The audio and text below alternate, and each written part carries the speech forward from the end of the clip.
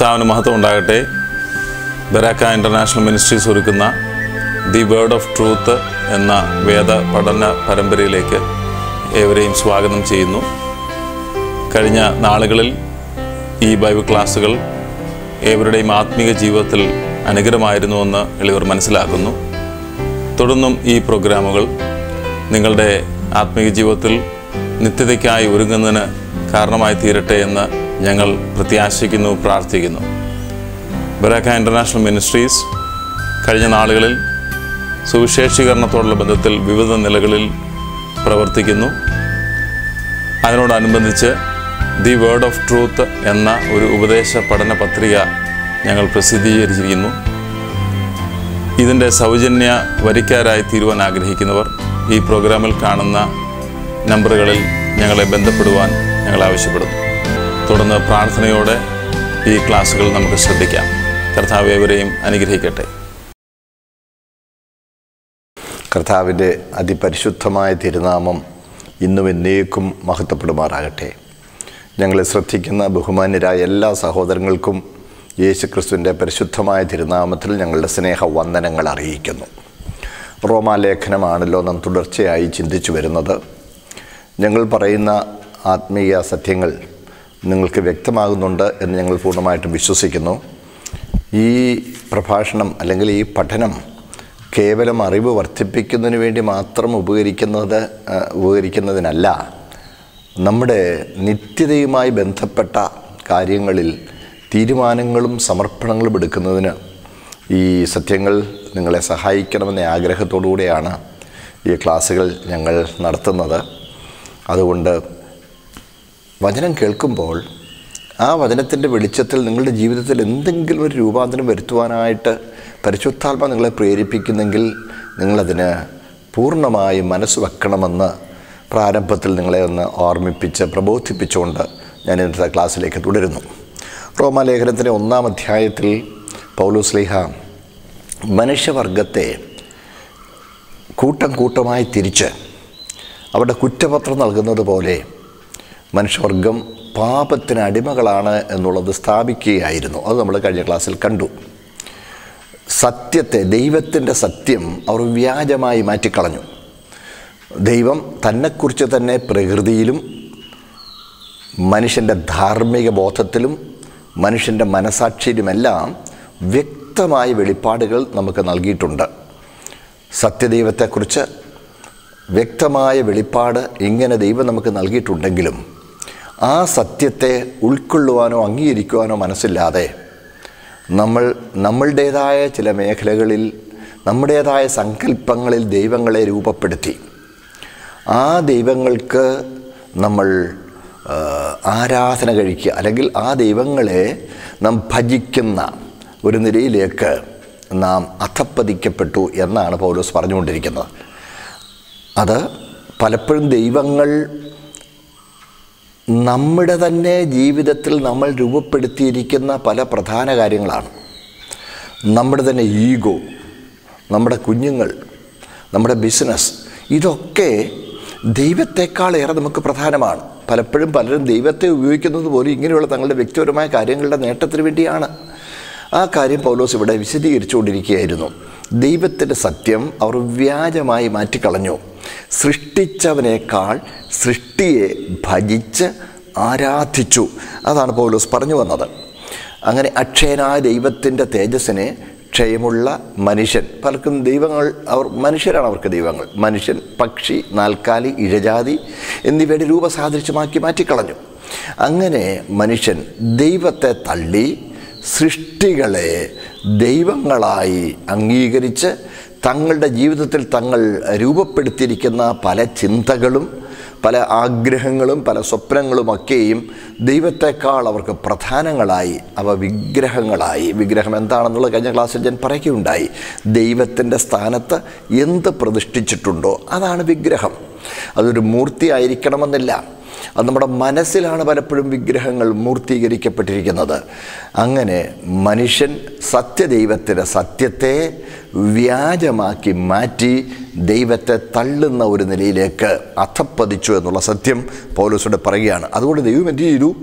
ദൈവം അവരെ തങ്ങളുടെ തെറ്റായ താല്പര്യങ്ങളിലേക്ക് അങ്ങ് ഏൽപ്പിച്ചു കളഞ്ഞു എന്നാണ് ഇരുപത്തിനാലാമത്തെ വാക്യത്തിൽ നമ്മൾ വായിക്കുന്നത്. അതുകൊണ്ട് ദൈവം അവരെ തങ്ങളുടെ ഹൃദയങ്ങളിലെ മോഹങ്ങളിൽ സ്വന്തം ശരീരങ്ങളെ തമ്മിൽ തമ്മിൽ അവമാനിക്കേണ്ടതിന് അശുദ്ധിയിലേൽപ്പിച്ചു മനുഷ്യൻ പ്രവർത്തിക്കുന്ന ചില നീചമായ കാര്യങ്ങളെക്കുറിച്ച് കാണും ചിന്തിക്കുമ്പോൾ എന്തുകൊണ്ട് ബുദ്ധിയുള്ള വിവേകമുള്ള ഈ മനുഷ്യൻ ഇങ്ങനെയൊക്കെ പെരുമാറുന്നു എന്നുള്ളത് നമുക്ക് സംശയമുളവാക്കുന്ന കാര്യമാണ്. അതെന്തുകൊണ്ടാണെന്ന് ചോദിച്ചാൽ ദൈവം അവരെ ആ നികൃഷ്ട ബുദ്ധിയിൽ അങ്ങ് ഏൽപ്പിച്ച് കളയുകയാണ് ഏൽപ്പിച്ച് കളയുകയാണ്. സ്വാഭാവികമായത് സ്വഭാവ വിരുദ്ധമാക്കി കളഞ്ഞു. തൊട്ട് താഴെ അതിനെക്കുറിച്ച് പറഞ്ഞിട്ടുണ്ട് സ്വാഭാവിക സ്ത്രീഭോഗം വിട്ട് സ്വം പുരുഷന്മാർ അന്യോന്യം കാമം ജ്വലിച്ച് ആണോടാണ് അവലക്ഷണമായ പ്രവർത്തി ആയത് പ്രവർത്തിച്ചു. ഇതൊക്കെയാണ് നമ്മൾ ഇന്ന് കണ്ടുവരുന്നത്. ലോകത്തിലെ അനേക രാജ്യങ്ങൾ നമ്മളുടെ ഈ ഈ ഈ ഭാരതത്തിൽ പോലും ഇങ്ങനെയുള്ള പല കാര്യങ്ങൾ കടന്നു കയറിയിരിക്കുന്നത് വളരെ ദുഃഖകരമായ കാര്യമാണ്. അതിനെ ന്യായീകരിക്കുന്ന പല പ്രിയപ്പെട്ടവരെയും കണ്ടിട്ടുണ്ട്. അങ്ങനെയുള്ളവർ പറയും ഇതാ ഞങ്ങൾക്ക് സ്വാഭാവികമായത്. ഇതാ നമുക്ക് ഞങ്ങൾക്ക് സ്വാഭാവികമായത് ഇതാണ്. നിങ്ങൾ വിചാരിക്കുന്നത് പോലെ സ്ത്രീ പുരുഷ ആകർഷകത്വത്തെക്കാൾ ഞങ്ങൾക്ക് ആകർഷകമായി തോന്നുന്ന ഒരു പുരുഷന് ആകർഷക ആകർഷകമായി തോന്നുന്ന ഒരു പുരുഷനോടാണെങ്കിൽ അതാണ് ഞങ്ങൾക്ക് സ്വാഭാവികമായത്. എന്ന് തങ്ങളെ തന്നെ ന്യായീകരിക്കുവാൻ ശ്രമിക്കുന്നത് പലപ്പോഴും കാണാറുണ്ട്. പ്രിയപ്പെട്ടവരെയും ദൈവത്തിന്റെ അവിടെ നമ്മൾ വിചാ അവരവർക്ക് സ്വാഭാവികമെന്നല്ല ദൈവവചനം. അങ്ങനെ ഒരു ചിന്തയാണ് അവരവർക്ക് സ്വഭാവം അത് മനുഷ്യന്റെ മനസ്സിന്റെ ഒരു വികലമായ ഭാവമാണ്. മനുഷ്യന്റെ സൈക്കോളജിക്കൽ പ്രോബ്ലം അവന്റെ മനഃശാസ്ത്രപരമായി അവനിൽ കടന്നു വന്നിരിക്കുന്ന ചില പ്രോബ്ലമാണ് ഇങ്ങനെയുള്ള ചില സഹോദരങ്ങളുമായി വ്യക്തിപരമായി സംസാരിക്കുകവരെ കൗൺസിൽ ചെയ്യുകയും ചെയ്യുവാനായിട്ട് അവസരങ്ങൾ ഉണ്ടായിട്ടുണ്ട് ആവശ്യമുണ്ടായിട്ടുണ്ട് അവർ പലരും പറഞ്ഞിട്ടുള്ളത് അവർക്ക് സ്വാഭാവികമായി തോന്നുന്നത് അങ്ങനെ തന്നെയാണ്. അവർക്ക് ഒരിക്കലും ഒരു ഒരു ഒരു പുരുഷൻ ഒരിക്കലും ഒരു സ്ത്രീയോടല്ല താല്പര്യം ഒരു പുരുഷനോട് താല്പര്യം തോന്നുന്ന ഒരു നിലയിലാണ് ഞാനായിരിക്കുന്നത്. അതെനിക്ക് സ്വാഭാവികമാണ്. നിങ്ങൾ പറയുന്ന അസ്വാഭാവികത അതെനിക്ക് അസ്വാഭാവികമാണ്. അതെനിക്ക് എനിക്ക് എനിക്ക് സ്വാഭാവികമല്ല. മീൻസ് നിങ്ങൾ പറയുന്ന സ്വാഭാവികമായത് എനിക്ക് സ്വാഭാവികമല്ല. നിങ്ങൾ അസ്വാഭാവികമെന്ന് പറയുന്നതാണ് എനിക്ക് സ്വാഭാവികമായത്. അത് അവരുടെ മനസ്സിലുണ്ടായിരിക്കുന്ന ഒരു വികലമായ ഒരു ഒരു രൂപാന്തരമാണ് ഒരവസ്ഥാ മാറ്റമാണ്. ഹോർമോൺ സംബന്ധമായി ഉണ്ടായിരിക്കുന്ന വികലമായ ചില ചില അവസ്ഥാന്തരങ്ങളാണ് മാറ്റങ്ങളാണ് പലപ്പോഴും അതിന് കാരണമാകുന്നത്. എന്നാൽ ഇവിടെ പൗലോസ് അർത്ഥമാക്കുന്നത് അവിടെ പൗലോസ് ഉപയോഗിച്ചിരിക്കുന്ന വാക്ക് ഗ്രീക്കിൽ ഉപയോഗിച്ചിരിക്കുന്ന വാക്ക് പ്രത്യേകം ശ്രദ്ധേയമാണ്. അവിടെ ഫിസിസ് എന്ന വാക്കാണ് പൗലോസ് ഉപയോഗിച്ചിരിക്കുന്നത്. ഫിസിസ് എന്ന് പറഞ്ഞാൽ അവരവർക്ക് സ്വാഭാവികമായതെന്നല്ല പിന്നെയോ ഗാഡ്സ് ക്രിയേറ്റഡ് ഓർഡർ ദൈവം തന്റെ സൃഷ്ടിയിൽ നിയമിച്ചിരിക്കുന്ന ക്രമം എന്നാണ് അർത്ഥം. ദൈവം തന്റെ സൃഷ്ടിയിൽ നിയമിച്ചിരിക്കുന്ന ക്രമം. തങ്ങൾക്ക് സ്വാഭാവികമായത് എന്തോ അതിന് പിന്നാലെ പോവുക എന്നല്ല പിന്നെയോ ദൈവം അവിടുത്തെ സൃഷ്ടിയിൽ നിയമിച്ചിരിക്കുന്ന ദൈവികമായ ക്രമം. ആ ദൈവികമായ ക്രമത്തിനാണ് നമ്മൾ വിധേയപ്പെടേണ്ടത്. അങ്ങനെ അല്ലാതെ ദൈവം നിയമിച്ചിരിക്കുന്ന ക്രമത്തിൽ നിന്ന് വിരുദ്ധമായി ആർക്കെങ്കിലും എന്തെങ്കിലും ഒരു പ്രത്യേക താല്പര്യം ശക്തമായി ഉദിച്ചാൽ അവർ ചെയ്യേണ്ടത് അതിന് എന്തെങ്കിലും ഒരു ചികിത്സ ആവശ്യമാണെങ്കിൽ അതിനവർ വിധേയപ്പെടേണ്ടതാണ്. ചിലപ്പോൾ അങ്ങനെ ആവശ്യമുണ്ടായിട്ടുണ്ട്. അങ്ങനെയുള്ള ഹോർമോൺ ട്രീറ്റ്മെന്റും അങ്ങനെയുള്ള ചില കൗൺസിലിംഗ് എല്ലാം കൊണ്ട് അങ്ങനെയുള്ള തെറ്റായ വഴികളിൽ നിന്ന് സ്വതന്ത്രരായവരെക്കുറിച്ചും ഞാൻ മനസ്സിലാക്കിയിട്ടുണ്ട്. അങ്ങനെയുള്ളവരെ കണ്ടിട്ടുമുണ്ട്. ഞാൻ പറഞ്ഞു വരുന്നത് മനുഷ്യൻ തെറ്റിലേക്ക് ഇങ്ങനെ പൊയ്ക്കൊണ്ടിരുന്നപ്പോൾ ദൈവം അവരെ തെറ്റിന് വേണ്ടി അങ്ങ് ഏൽപ്പിച്ചു കളഞ്ഞു. കഴിഞ്ഞ ക്ലാസ്സിൽ ഞാൻ അതിനെക്കുറിച്ച് അല്പം പരാമർശിച്ചു. ഏൽപ്പിച്ചു കളഞ്ഞു. അതാണ് ഇവിടെ കണ്ടുവരുന്നത്. ദൈവം പ്രകൃതിയിൽ അവിടുത്തെ സൃഷ്ടിയിൽ നിയമിച്ചിരിക്കുന്ന ആ പ്രത്യേകമായ ദൈവിക ക്രമം തെറ്റിപ്പോയി. ദൈവം അതിനെ ആ ക്രമമല്ലാത്തതിന് പിന്നാലെ പോകാൻ തക്കോണം മനുഷ്യനെ നികൃഷ്ട ബുദ്ധിയിൽ അങ്ങ് ഏൽപ്പിച്ചു കാര്യം അവൻ അതിനാണ് താല്പര്യപ്പെടുന്നത്. അവൻ അതിനുവേണ്ടി താല്പര്യപ്പെടുന്നതാണ് നികൃഷ്ട ബുദ്ധിയിൽ ഏൽപ്പിച്ച് കളഞ്ഞ് അവൻ ആന്തരികമായി തന്നെ അവൻ അധപ്പതിച്ച അവസ്ഥയിൽ തുടരുന്ന ഒരു ഒരു നിസ്സഹായ അവസ്ഥ നമുക്കിന്ന് സമൂഹത്തിൽ കാണുവാനായിട്ട് കഴിയും. ഒരർത്ഥത്തിൽ പറഞ്ഞാൽ ബുദ്ധിയുള്ള ആരും ചെയ്യാത്ത കാര്യങ്ങളാണ് പല ആളുകളും ചെയ്തുകൊണ്ടിരിക്കുന്നത്. വളരെ ബുദ്ധിമാന്മാരും വളരെ പി എച്ച് ഡി ഒക്കെയുള്ള ഡോക്ടേഴ്സായിട്ടുള്ള വലിയ വലിയ ഉന്നതന്മാരായ വലിയ ബുദ്ധിമാന്മാരായ പല ആളുകളും അങ്ങനെയുള്ള പല ആളുകളും എന്ന് പറഞ്ഞാൽ നോബൽ നോബൽ സമ്മാനത്തിന് അർഹരായിട്ടുള്ള ശ്രേഷ്ഠന്മാരായ ഉന്നതന്മാരായ കഴിവുറ്റവരായ ആളുകൾ പോലും സ്വവർഗരതിയിലും മറ്റും അടിമകളായി പോയിരിക്കുന്നതിനെക്കുറിച്ച് കേട്ടിട്ടുണ്ട് വായിച്ചിട്ടുണ്ട്. എത്ര ദുഃഖകരമായ കാര്യമാണ്. ദൈവം വെച്ചിരിക്കുന്ന ഫിസിക്സ് ദൈവം നിയമിച്ചിരിക്കുന്ന പ്രകൃതിയിലെ ആ ക്രമം വിട്ട് പ്രകൃതിക്ക് വിരുദ്ധമായ ക്രമങ്ങളിലേക്ക് മനുഷ്യൻ അധപ്പതിക്കത്തക്കതുപോലെ അവനിൽ തന്നെ അധപ്പതനമുണ്ടാകുവാൻ ദൈവം അവനെ ഏൽപ്പിച്ചു കളഞ്ഞു. പിശാചിന്റെ സ്വാധീനതയാൽ. ഹാ എത്ര ദുഃഖകരമായ കാര്യമാണ്. എന്നാൽ അതിൽ അങ്ങ് പ്രമോദിച്ചു പോവുകയല്ല. അതാണ് ഒന്നാമത്തെ അതിൽ മുപ്പത്തി മൂന്നാമത്തെ വാക്യത്തെ നമ്മൾ വായിക്കുന്നുണ്ട്. ഈ വക പ്രവർത്തിക്കുന്നവർ മരണയോഗ്യർ എന്നുള്ള ദൈവന്യായം അവർ അറിഞ്ഞിട്ടും അവയെ പ്രവർത്തിക്ക മാത്രമല്ല പ്രവർത്തിക്കുന്നവരിൽ പ്രസാദിക്കുകയും കൂടെ ചെയ്യുന്നു. പ്രവർത്തിക്കുന്നു എന്ന് മാത്രമല്ല പ്രവർത്തിക്കുന്നവരിൽ പ്രസാദിക്കുന്നു. ഇതിനെ ന്യായീകരിക്കുന്ന തെറ്റ് ചെയ്യുന്നതിനെ ന്യായീകരിക്കുന്ന ഒരു ദുഃഖകരമായ അവസ്ഥയാണ് നമ്മുടെ ഇടയിൽ സംജാതമായിരിക്കുന്നത്. അതാണ് ഏറ്റവും ദുഃഖകരമായ കാര്യം. വളരെ പ്രസിദ്ധനായ ഒരു ഭക്തനായിരുന്നു അഡോൾഫ് ഫ്ലാറ്റർ എന്ന് പറയുന്ന എഴുത്തുകാരൻ. അദ്ദേഹം അതിനെക്കുറിച്ച് പറഞ്ഞിരിക്കുന്ന ഒരു വാചകം ഞാൻ മലയാളത്തിൽ തർജമ ചെയ്ത് നിങ്ങളുടെ മുമ്പിൽ അങ്ങ് വായിച്ചു കേൾപ്പിക്കാം. അദ്ദേഹം ഇങ്ങനെയാണ് പറഞ്ഞിരിക്കുന്നത്. വ്യാജത്താൽ ജീവിക്കുന്ന മതവും മ്ലേച്ഛമായി തീർന്ന ശരീരവും യുദ്ധവും വിദ്വേഷവും സ്വാഭാവികമായി തീർന്ന സമൂഹവും ദൈവകോപത്തിന്റെ സ്പഷ്ടമായ തെളിവുകളാകുന്നു. ദൈവം പാപിയായ മനുഷ്യൻ പാപത്തെ ന്യായീകരിക്കുകയും പ്രാ പാപത്തിൽ ഉല്ലസിക്കുകയും ദൈവത്തോട് മത്സരികളായി തുടരുകയും ചെയ്യുന്ന ആ മനുഷ്യവർഗത്തോടുള്ള ദൈവത്തിന്റെ വിദ്വേഷവും വെറുപ്പും അതേസമയം ദൈവം അവരെ സ്നേഹിക്കുകയും ചെയ്യുന്നു. അത് വെളിപ്പെടുത്തുവാൻ നോക്കണേ ദൈവം അവരെ ആ നികൃഷ്ട ബുദ്ധിയിൽ അങ്ങ് ഏൽപ്പിച്ചു കളഞ്ഞു. അതിന്റെ ഫലമായി എന്താ നമ്മളിവിടെ കാണുന്നത്? വ്യാജത്താൽ ജീവിക്കുന്ന മതം. നോക്കണേ ഈവൻ ക്രിസ്തീയ മതത്തിൽ പോലും സത്യസന്ധതയില്ലാതെ ദൈവഭക്തിയില്ലാതെ ദൈവഭയമില്ലാതെ പോകുന്ന വ്യാജത്താൽ ജീവിക്കുന്ന മതം മ്ലേച്ഛമായി തീർന്ന ശരീരം അയ്യോ കഷ്ടം. മദ്യപാനത്തിനും മയക്കുമരുന്നിനും എല്ലാവിധ തെറ്റുകൾക്കും വിധേയപ്പെട്ട ശരീരത്തെ മ്ലേച്ഛമാക്കി. മ്ലേച്ഛമായി തീർന്ന ശരീരം. പിന്നെ യുദ്ധം വിദ്വേഷം. ഒരുവൻ ഒരുവനെതിരെ ആയുധമെടുക്കുന്നു. നോക്കണേ ഒരുവനെ വെടിവെച്ചു കൊല്ലാൻ മറ്റൊരുവന് ഒരു മടിയുമില്ലാത്ത മനസാക്ഷി മരവിച്ചു പോയ ഒരു സമൂഹം സ്വന്തം സഹോദരനെന്ന് മറ്റുള്ളവരെ കാണാൻ കഴിയാതിരിക്കുന്ന ഒരു വല്ലാത്ത സ്ഥിതി. അതാണ് യുദ്ധവും വിദ്വേഷവും സ്വാഭാവികമായി തീർന്ന സമൂഹം. ഈ സ്ഥിതി ദൈവകോപത്തിന്റെ സ്പഷ്ടമായ തെളിവുകളാകുന്നു എന്നാണ് ഫ്ലാറ്റർ അതിനെക്കുറിച്ച് പറഞ്ഞിരിക്കുന്നത്. അതാണ് പൗലോസ് ഇവിടെ പറയുന്നു. ദൈവം അവരെ ഏൽപ്പിച്ചു കളഞ്ഞു. നോക്കണേ ഈ അങ്ങനെ വളരെ ദുഃഖകരമായ കാര്യമാണ് നാം കാണുന്നത്. പ്രിയപ്പെട്ടവരെ അതിന്റെ ഇരുപത്തി ഒൻ ഒന്നാമത്തെ അത് ഇരുപത്തി ഒൻപത് മുതൽ മുപ്പത്തി ഒന്ന് വരെയുള്ള വാക്യങ്ങളിൽ പൗലോസ്ലിഹ ഇരുപത്തി ഒന്ന് കൂട്ടം തിന്മ നമ്പരിട്ട് പറഞ്ഞിരിക്കുകയാണ്. ഇരുപത്തി ഒന്ന് കൂട്ടം തിന്മ നമ്പരിട്ട് പറഞ്ഞിരിക്കും അതിൽ ആദ്യത്തെ നാലെണ്ണം ഭൗമിക സമ്പത്തിനോട് ബന്ധപ്പെട്ടവയാണ്. ആദ്യത്തെ നാലെണ്ണം.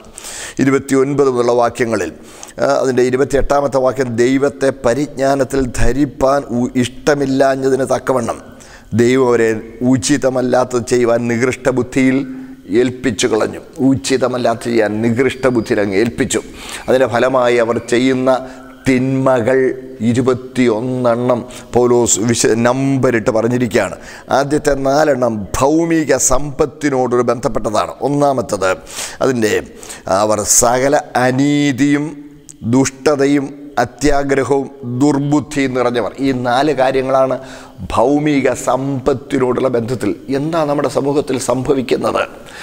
ഇഷ്ടം പോലെ സമ്പത്തുണ്ടെങ്കിലും പിന്നെയും വ്യാജം കാണിച്ച് നിയമത്തിന്റെ മുമ്പിൽ കുറ്റക്കാരായി തീർന്നിരിക്കുന്ന എത്രയോ ആളുകളെയാണ് നമ്മൾ കാണുന്നത്. ആവശ്യമുണ്ടായിട്ടല്ല. അത്യാഗ്രഹം. അതാണ്.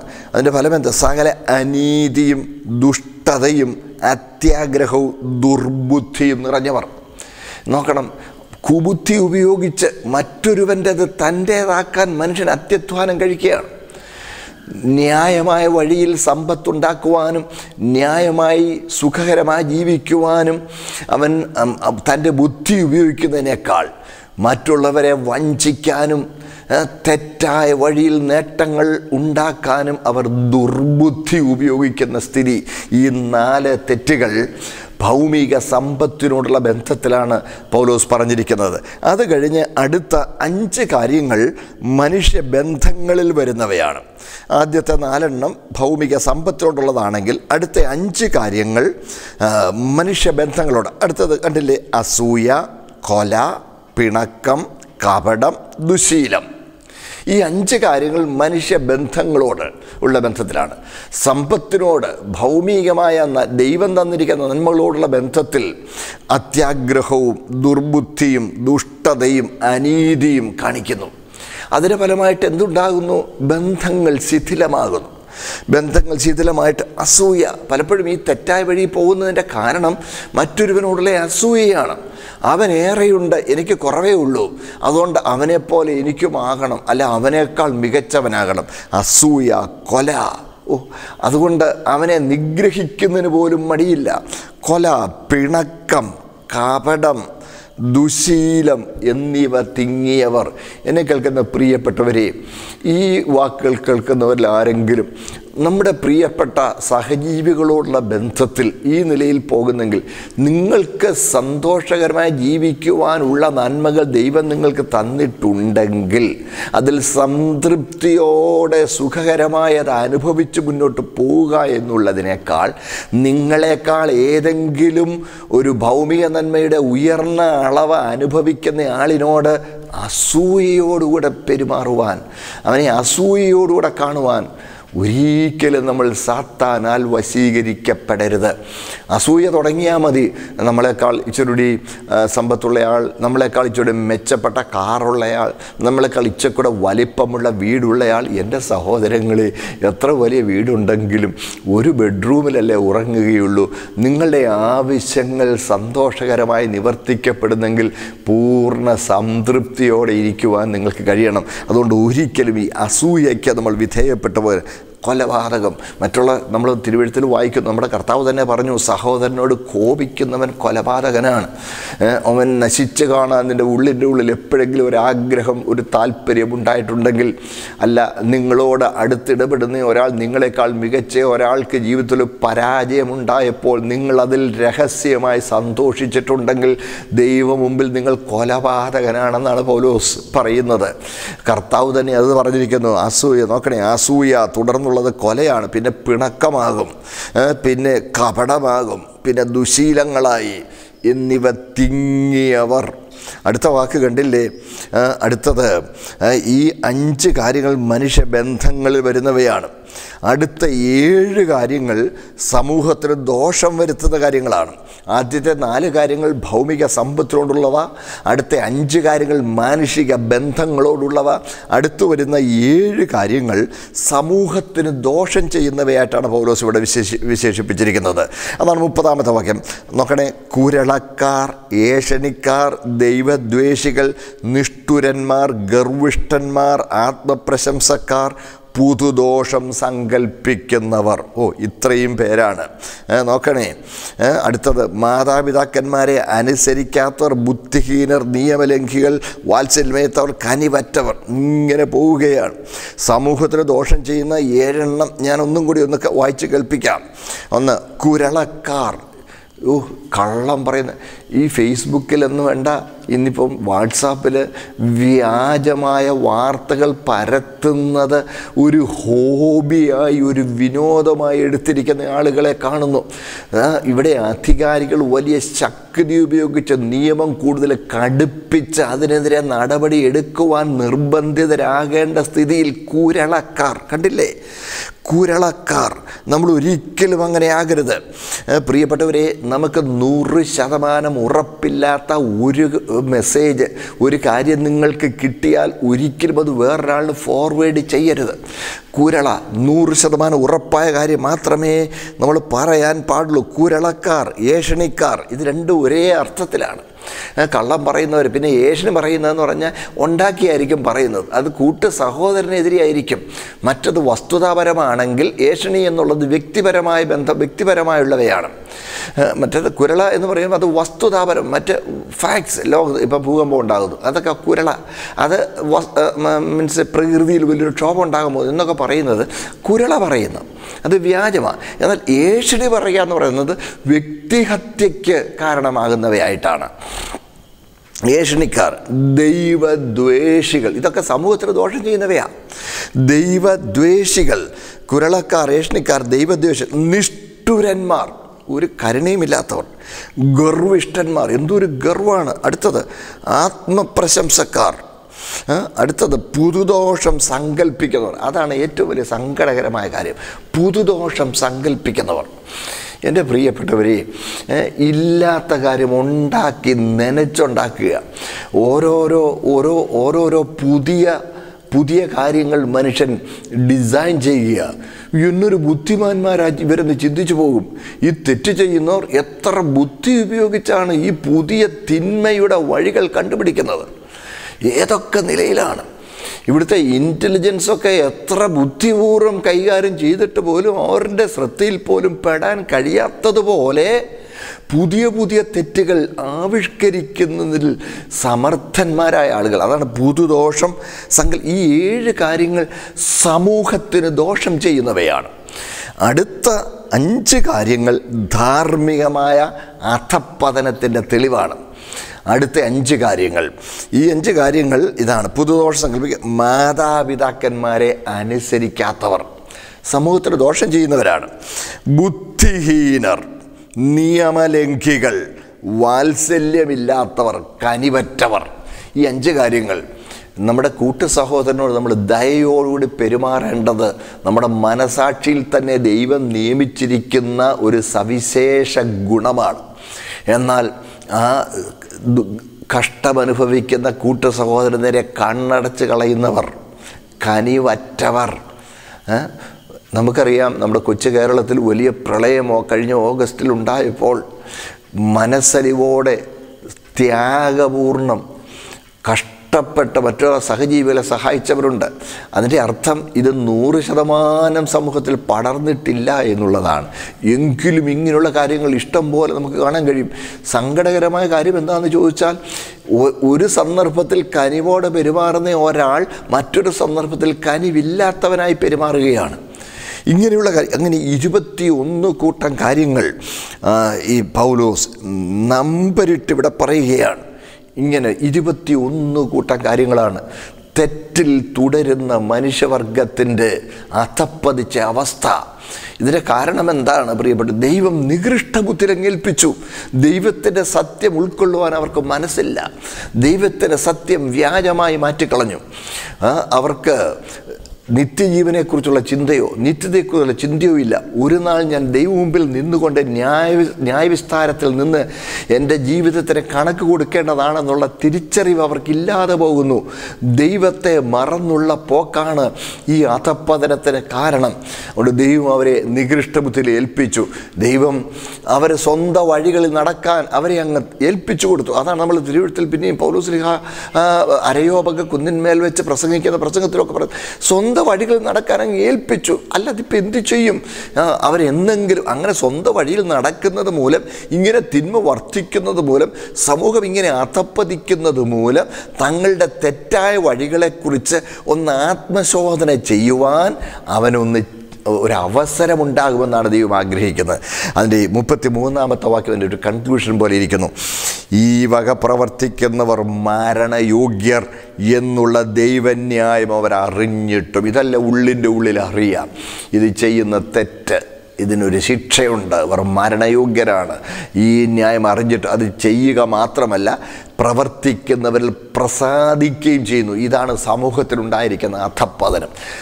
തെറ്റിനെ ന്യായീകരിക്കുന്നവർ തെറ്റ് ചെയ്യുന്നതിൽ ഊറ്റം കൊള്ളുന്നവർ. ഓ സങ്കടകരമായൊരു കാര്യമല്ലേ? ഓ ഞാനത്ര നല്ലവനൊന്നും അല്ല എന്ന് പറയുന്നത് ഒരാഭിമാനം പോലെ. എടുക്കുന്നവരെ ഞാൻ കണ്ടിട്ടുണ്ട്. എത്ര ദുഃഖകരമായ കാര്യമാണ് ഓ ഞാൻ ഞാനത്ര വലിയ നല്ലവനൊന്നും അല്ലടോ എന്ന് പറയുന്നത് ഏതാണ്ട് ഒരു നേട്ടം പോലെ എന്റെ ഒരു വലിയ പൊണ്ണക്കാര്യം പോലെ പറയുന്നത്. അതാണ് കണ്ടില്ലേ? ആ വക പ്രവർത്തിക്കുന്നവരിൽ പ്രസാദിക്കുന്നവർ. ആ വക പ്രവർത്തിക്കുന്നത് ഏതാണ്ട് ഒരു ഊറ്റം കൊള്ളുവാൻ കാരണമായ കാര്യമാണെന്ന് ചിന്തിക്കുന്നവർ. ഇത് ദൈവത്തിന്റെ ന്യായവിസ്താരത്തിൽ കുറ്റകരമായി പരിഗണിക്കപ്പെടുകയും ശിക്ഷിക്കപ്പെടുകയും ചെയ്യുവാനുള്ള തെറ്റാണെന്നുള്ള തിരിച്ചറിവ് ദൈവം മനസാക്ഷിയിൽ വ്യക്തമാക്കി കൊടുത്തിട്ടും അത് ചെയ്യുക മാത്രമല്ല. അത് ചെയ്യുന്നവരിൽ പ്രസാദിക്കുന്ന പ്രസാദിക്കുന്ന ആളുകളെ ബന്ദിച്ചോർ എന്ന് പറഞ്ഞ ഒരാളിനെ കുറിച്ച് പത്രത്തിൽ വായിച്ചു. ഭയങ്കര ബുദ്ധിമാന. ഓ ഭയങ്കര മിടുക്കനാണ്. ഏതൊരു ഇലക്ട്രോണിക് സെക്യൂരിറ്റി സിസ്റ്റവും ബുദ്ധി ഉപയോഗിച്ച് തകർത്ത് എത്ര സെക്യൂരിറ്റി ഫീച്ചേഴ്സുള്ള കാറൊക്കെ അവനോട് മോട്ടിച്ചുണ്ടോ എന്നിട്ട് അവൻ പറയുന്ന അതൊരിച്ചിരി അഭിമാനം എന്ന പോലെയാണ്. എന്റെ പ്രിയരെ തെറ്റ് ചെയ്യുന്നവരെ കാണുമ്പോൾ അവർ മിടുക്കന്മാരാണെന്നുള്ള ചിന്ത നമ്മുടെ സമൂഹത്തിൽ പടർന്നതിന് ഒരു പരിഹാരമുണ്ടാകണം. അതിനൊരു മാറ്റമുണ്ടാകണം. പൗലോസ് അതാണ് ഇവിടെ പറയും ഇരുപത്തിയൊന്ന് കൂട്ടം തെറ്റുകളെ നമ്പരിട്ട് പറഞ്ഞ് ഇതരുത് അരുത് അരുത് എന്ന് പൗലോസ് ഇവിടെ പറഞ്ഞിരിക്കുന്നു. ആ പ്രവർത്തിക്കുന്നത് മാത്രമല്ല അതിൽ പ്രസാദിക്കുന്ന ഒരു അധപ്പതിച്ച സ്ഥിതിയിലേക്ക് നമ്മുടെ സമൂഹം അധപ്പതിച്ചു പോയതാണ് ഏറ്റവും ദുഃഖകരമായ കാര്യം. സ്തോത്രം. നമ്മുടെ സമൂഹത്തിന് ഒരു മാറ്റം വരുവാൻ ഒരു കുറ്റബോധം ഒരു പാപബോധം ഉണ്ടാകുവാൻ നമുക്ക് പ്രാർത്ഥിക്കാം. നമ്മുടെ ചിന്തയിൽ ഇങ്ങനെയുള്ള കാര്യങ്ങൾക്കൊരു മാറ്റം വരുവാൻ നമുക്ക് ഒരു തീരുമാനമെടുക്കാം. സർവകൃപാലുവായ ദൈവം നമ്മെ അതിനെ സഹായിക്കട്ടെ. ദൈവം നമ്മെ അനുഗ്രഹിക്കട്ടെ.